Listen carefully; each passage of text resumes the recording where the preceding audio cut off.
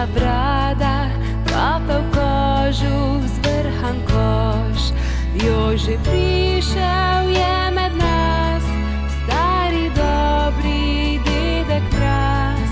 Jože prišel je med nas, stari dobri dedek mraz.